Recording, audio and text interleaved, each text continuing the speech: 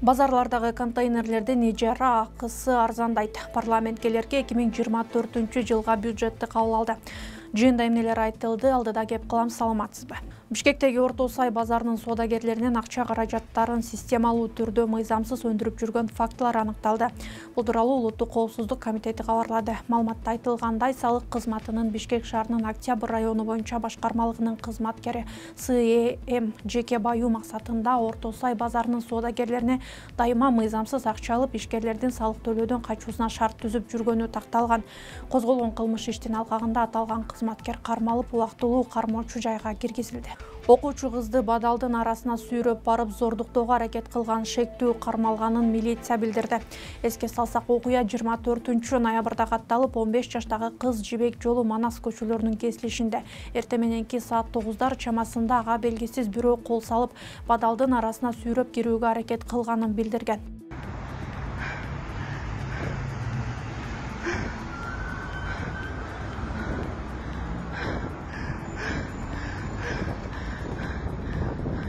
кылмышка шектүү делип кырк эки жаштагы дж аттуу жаран кармалып убактылуу кармоочу жайга киргизилди. Бишкектеги барлардын биринде чет элдиктер менен жүргөн кызды сабаган адам кармалды. Ал убактылуу кармоочу жайга киргизилгенин милициядан кабарлашты.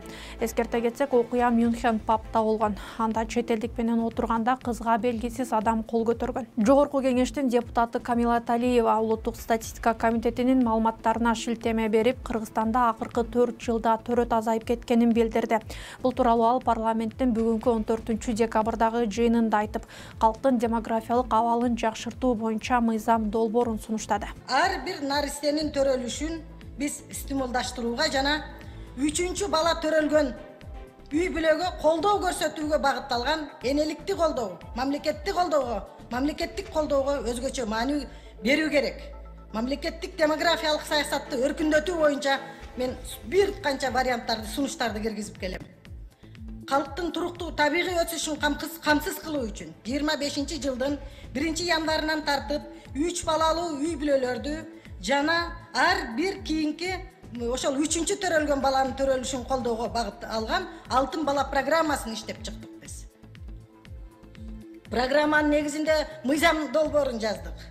Биз биринчи ар бир биринчи баладан баштап Э, мындай э, үч жыл бою э, пособие берилсин деген бир вариантыбыз болчу анын биз эми бюджеттин тартыштыгын бюджеттин бүгүнкү күнү эми жыйырма төртүнчү жылга профицит деп атат.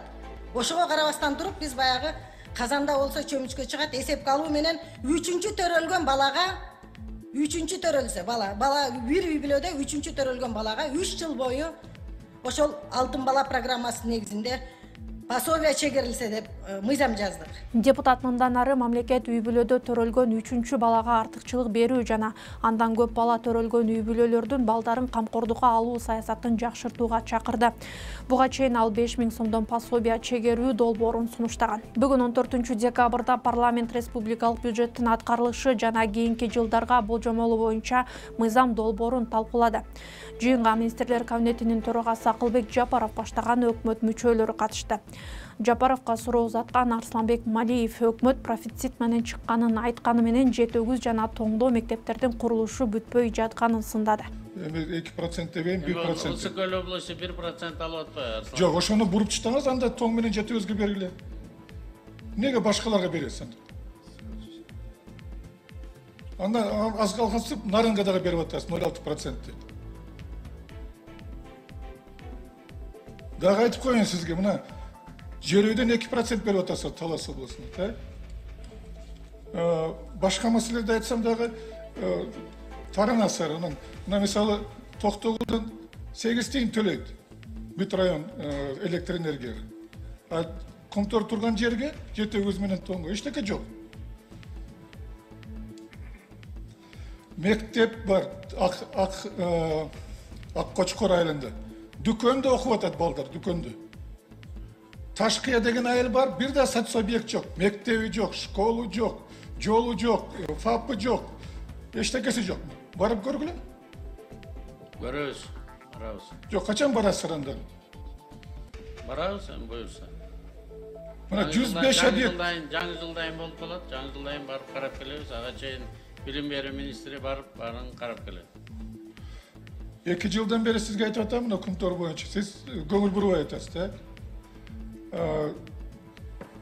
жанагы тизме боюнча дагы катаал шартта жашаган аялдар боюнча дагы жети өгүздүн ошо аялдарын киргизип беребиз жок дегенде ошону токтом даяр кол коюп берсеңиз эле бүттү бүтпөйт дагы акча таап бериш керек да а Ал үчүн эле профицит профициттен анда бүтөбүз, хорошо. Жыйырма миллиард профицит деп атасыз ошондон бербейсизби анда азыр жумушчу топ жок профицит профицит анда эмнеге керек анда бул жерде шоу болуп атат профицит сырткы төлөөгө карызга кетет төрт жүз кырк төрт анда профицит болбойт анда профицит дебегиле анда карызга профицит кетсе. дебейбиз Бул болбосо анда шоу болуп атат. карыз жаппай биз наоборот ошо карызды өзүбүздүн эсебибизден профицитке чыгарып туруп карызды төлөп атабыз. Жок карызды бюджеттен төлөгүлө бюджеттен жөн төлөп атабыз напрямую профицит төлөп кылбайлычы сизге так айтып атпайбы төрт жүз кырк төрт миллион доллар төлөйбүз быйыл бул арада кесиптешин калыс болууга чакырган балбак төлөбаев менен арсланбек малиев кайым айтыша кетишти сиз барып мына жерге отуруңуз анда менин светтим убагымды токтоп койгула бияктан башкалар киришип атат калыстык болсо анда сиз барып өкмөткө иштеңиз анда урматтуу депутаттар кичине эмоцияга алдырбай бири бирибизди сыйлап мамиле жасайлы эми сиз өзүңүз э, убактыңызды өзүңүз кетирип алдыңыз да көңүл бурбай сүйлөй бербейт белеңиз анысы Э, жыйындын жүрүшүндө акылбек жапаров мындан ары мамлекеттик деңгээлдеги мааракелер иш чаралар кыскартыларын билдирди.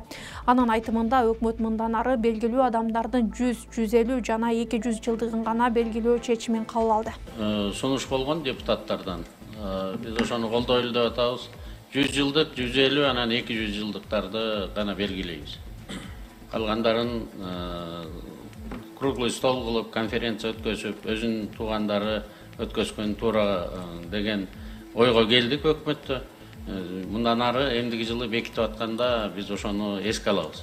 Мындан тышкары эми алымбек таткадай биздин чоң аталарыбыз кыргыз элине абдан көп кызмат кылган э, инсандарыбыздын баарын отуз биринчи августта э, мына мисалы жакында таласты өткөзөбүз. Таластагы ошондой болгон инсандарга арнап аябын ошто өткөздүк Э, урматтуу насирдин исанов боюнча юбилейин ушундайга арнап отуз биринчи августта кишилердин атын атайбыз бирок өзүнчө юбилей кылып токсонго чыкты анан сексенге чыкты деп анан бала чакасы бир жылкы сойгонго жарабаса баарыбыз эле бияктан ары бери жүгүрүп жүрсөк көп туура эмес экен да жыйынтыгында жогорку кеңеш мамлекеттик бюджеттин эки миң жыйырма үчүнчү жылдагы аткарылышын жактырды. Бюджеттин кирешеси үч жүз элүү эки миллиард сегиз жүз жети миллион сом ал эми чыгашасы үч жүз алтымыш бир миллиард жети жүз токсон беш миллион сом болду.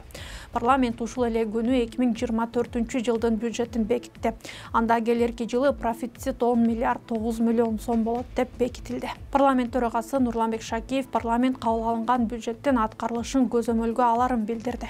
Сиз арча медианын жаңылыктар чыгарылышын көрүп жатасыз. Биздин youtube каналыбызга катталыңыз. Бизди next tv телеканалынан көрүп жатсаңыз экрандагы qr код аркылуу катталсаңыз болот.